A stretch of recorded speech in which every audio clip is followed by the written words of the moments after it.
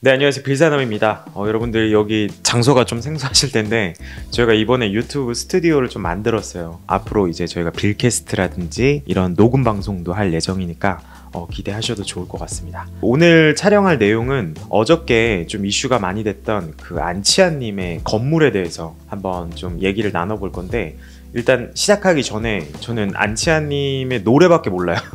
네, 노래밖에 모르고 사실 제가 90년대 생이어서 잘 모릅니다. 네, 잘 모르는데 빌딩 전문가 입장에서 어, 빌딩을 한번 좀 보도록 하겠습니다. 어, 빌딩이 총 세 채 있으시더라고요. 어, 세채 있으시고 그다음에 이제 연희동에 집이 한 채 있으신데 그 세 채 중에 한 채는 그 연트럴 파크 있어요. 연트럴 파크가 이제 그 센트럴 파크라 그래서 연남동이랑 같이 이름을 따가지고 이제 중간에 이제 공원 있는 부분이 있는데 거기가 이제 상권이 제일 비싸고 연남동 중에서도 제일 비싼 곳입니다.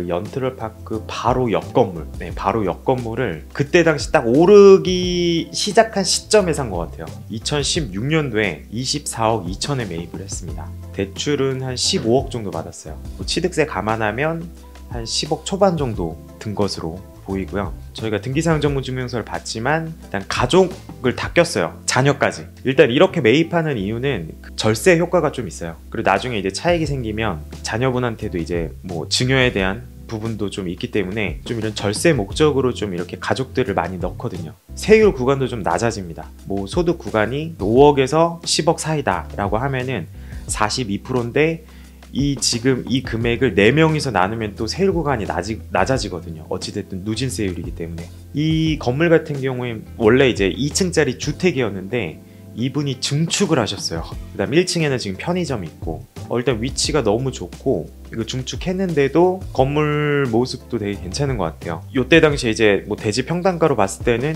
한 3천 정도에 샀거든요. 지금 시세, 시세는 한두 배가 넘습니다. 한 7천에서 8천 사이가 되지 않을까. 다음 이제 연남동에 있는 건물은 이 지금 두 채는 다 신축했어요. 요거는 이제 자녀분들은 따로 안 넣고 그 와이프 분이랑 같이 이제 공동 명의를 매입한 건데 어 저는 일단 우선적으로 놀랬던 게 어, 건물을 진짜 돈 많이 들였어요. 네, 제가 딱 봐도 돈을 진짜 많이 들인 것 같고 지하를 일단 2층까지 팠습니다. 어, 지하 이거 파는 데가 비용이 많이 들어가거든요. 4층에는 옥상 정원을 또 만드신 것 같더라고요. 그래서 건축물 대장이 또 나와 있는데 그리고 지하 2층에 지상 8층 건물입니다. 10층짜리 건물이에요. 위에 층 면적이 되게 작은데도 층을 엄청 높게 올려놨어요. 5층이 넘어가면 스프링클러도 설치하고 건축비가 많이 들어가는데 무려 8층까지 만들어 놓은 거예요. 지하도 보통 1층까지 파는 지하 2층까지 파놓고 요게 거의 대지가 100평 정도 되는데 연면적이 무려 300평입니다. 코너에 있는 건물만 해도 가격이 엄청 날 것 같아요. 뭐 예상컨대 뭐 한 90에서 100억 정도 이 건물만. 착공도 2년 걸렸어요. 2년 건물 짓는데. 그러니까 2017년도 1월 15일 날 이제 착공 신고를 하고 사용 승인 일자가 2019년도 12월 24일입니다. 건축비도 좀 굉장히 많이 쓴 것으로 보여집니다. 어, 그래서 중간에 이분이 이제 매입하시고 나서 추가 대출을 받았어요. 그러니까 공동담보로. 그게 채권 최고액이 한 45억 정도 됩니다. 한 38억 정도?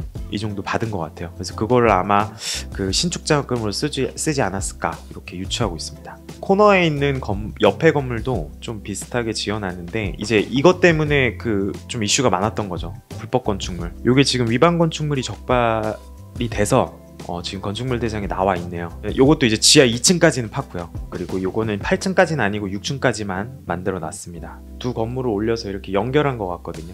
어, 브릿지 같이 만들어 가지고. 그래서 여기 위반 내용 보니까 원래는 2020년도 7월 28일 날 어, 위반 건축물이 처음 적발이 됐어요. 그래서 1층에 근생 부분에 한 15제곱미터, 한 4.5평 정도 이 정도 되는 것 같아요. 그러다가 한 3개월 뒤에 위반 건축물이 해제가 됐어요. 2021년 1월 15일 날 다시 적발이 됐어요.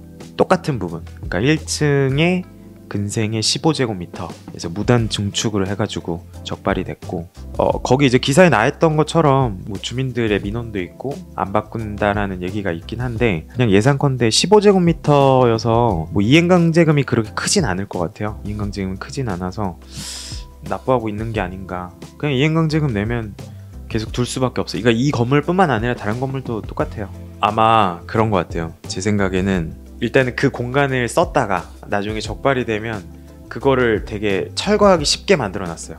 뭐 예를 들어서 바퀴를 달아놓는다든지 그런 식으로 다 철거를 한 다음에 그 공무원분이 현장 가서 또 보거든요. 아니면은 사진을 찍어서 보내주면 위반 건축물이 보통 해제됩니다. 그 해제되고 나서 또 설치해요.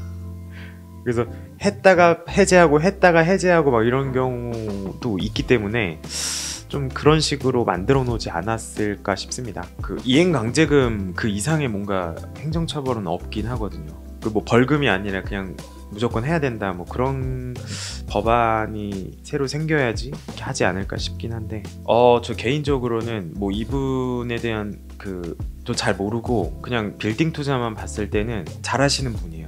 그러니까 지금 연트로파크 있는 것도 올라가기 전에 그 바로 옆에 있던 건물을 되게 좀 저렴하게 매입했고 거의 두 배 이상 올랐고 뭐 2.5배 이상 올랐고 그리고 그거는 증축도 했잖아요. 그 2층짜리 주택을 중축도 하고 그리고 지금 여기는 심지어 신축을 했는데 이 땅에서 지을 수 있는 진짜 최대의 활용을 한 것 같거든요. 네, 최대의 활용을 했고 저도 이면에 이렇게까지 할 수 있는 거 다 다 할 정도로 진짜 빡빡하게 지은 거는 저는 진짜 오랜만에 봤어요. 어, 건축비 진짜 많이 들었을 것 같습니다. 그래서 오늘 영상 여기까지 하고요. 어, 다음 시간에 또 뵙도록 하겠습니다. 감사합니다.